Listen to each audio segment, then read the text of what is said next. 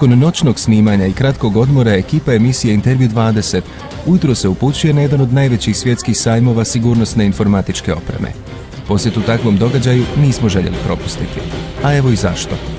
Video oprema koja se povezuje fantastičnim softverskim rješenjima prezentirana na ovom mjestu od kompanija iz cijelog svijeta otkrila nam je da mnoge uspješne informatičke priče počinju upravo ovdje na Tajvanu.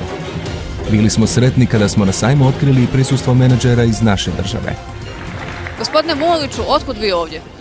E, pa evo, mi već neko vrijeme komuniciramo sa kompanijama iz Tajvana i na njihov poziv došli smo na ovaj veliki sajam sigurnosti e, da se na licu mjesta uvjerimo koji su to novi trendovi u, oblasti sigurnosti kao i da se da proširimo našu mrežu kontakata direktno sa proizvođačima. Danas je ovdje svako ko nešto znači u, u oblasti security informatičkog ili klasičnog sigurnosti, klasičnog security Znači, vrlo je važno održavati kontakte, znači biti na licu mjesta da biste vidjeli koji su to novi trendovi. Od stotinu najvećih azijskih kompanija, njih 50 iz Tajvana i zato je vrlo važno biti na licu mjesta iz prve ruke upoznati se s ljudima i šta je to novo što se dešava u ovoj industriji. Hvala vam lijepa, evo što ste odvojili vrijeme za našu emisiju. Hvala i vama i drago mi da smo se vidjeli ovdje. Hvala.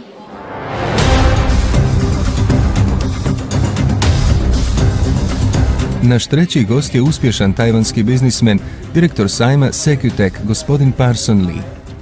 Upravo je gospodin Lee u svijetu prepoznat kao osoba koja na ovom mjestu svojim umjećem ne samo da dovodi privrednike iz cijelog svijeta, već zajedno sa njima stvara nove inovativne ideje.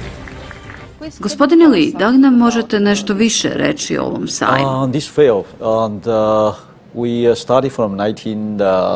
ovaj sajam smo ustanovili 1998. godine, tako da je ovo 17. godina. U biti uspostavili smo i osmislili ovaj sajam radi azijskih proizvođača. Zapravo mnogi iz ove branše shvataju da se oko 70 do 80% sigurnosne opreme proizvodi u Aziji. Tako da proizvođači žele jedinstven prostor i platformu kako bi mogli komunicirati sa međunarodnim partnerima. I to je prilika za azijske proizvođače da se povežu sa međunarodnim kupcima. Oni na tom mjestu nude svoje proizvode i tehnologiju međunarodnim kupcima koji imaju priliku da shvate ko je ko u toj industriji u Aziji u ovom trenutku. Stoga je ova platforma kreirana za svakog proizvođača u Aziji kako bi se mogao povezati sa globalnim igračima u domenu sigurnosti. Da li je ovo mjesto za nove ideje i solucije, a ne isključivo za prezentaciju proizvoda? Jeste, mislim da jeste. Mi ovdje nudimo od recimo ključnih komponenti preko gotovih proizvoda do kompletnih rješenja. Ali postoji nešto jedinstveno za ovu platformu jer se ona razlikuje od drugih platformi za lokalna tržišta gdje dolaze proizvođači iz drugih zemalja kako bi ponudili proizvode na lokalnom tržištu namijenjene krajnjim kupcima. Ovo je nešto drugo. Ovo je jedan poligon za ostvarivanje partnerstava.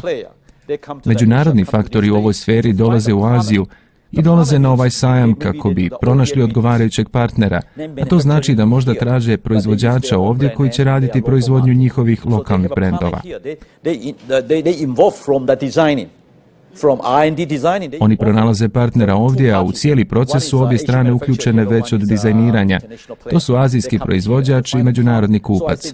Tako da volim reći da je ovo platforma za uspostavljanje partnerstava, a ne samo za prodaju. Koliko posjetitelja očekujete ove godine?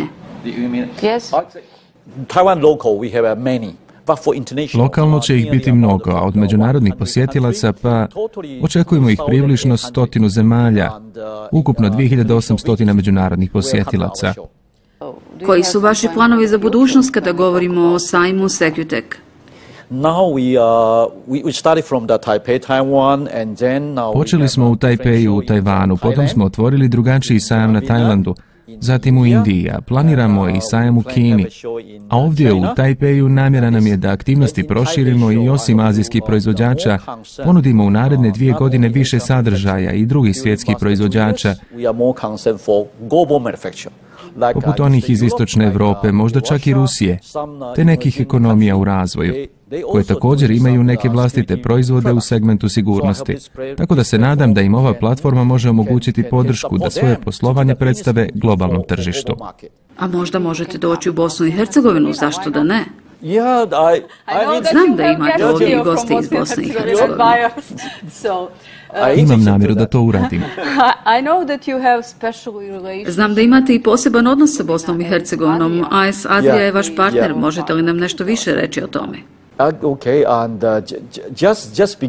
Ta saradnja je u početnoj fazi, tek je realizovan časopis na lokalnom tržištu, koji je, moram to reći, vrlo popularan širom svijeta. U pogledu časopisa moram istaknuti da smo mi velika grupacija na svjetskom planu. Sada ukupno imamo 14 lokalnih izdanja u različitim zemljama. U okviru samog časopisa, naročito u pogledu aspekta sigurnosti, mi imamo veliko prisustvo širom svijeta, odlikuje nas kvalitetan sadržaj koji je zanimljiv u pogledu moguće saradnje. U magazinu između ostalog predstavljamo azijske proizvođače, a neki od njih se i oglašavaju u vidu sponzoriranih tekstova. A s druge strane sadrži i neke informacije o zemljama Istočne Europe, pa i vašoj zemlji Bosni i Hercegovini. Niste do sada posjetili Bosnu i Hercegovinu? Ne. Zašto? Nadam se da ću uskoro imati priliku. Moje jedino opravdanje je to što sam zauzet. Morate doći, dobrodošli Ali ću reći da interes postoji. Dođite, molim vas.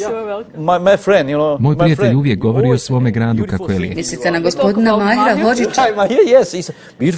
Da, Mahir i on mi govori da moram doći. Moram doći, možda ove godine. Hvala vam puno na vašem vremenu i želim da vaš sajam ovdje bude veoma uspješan. Veliko hvala.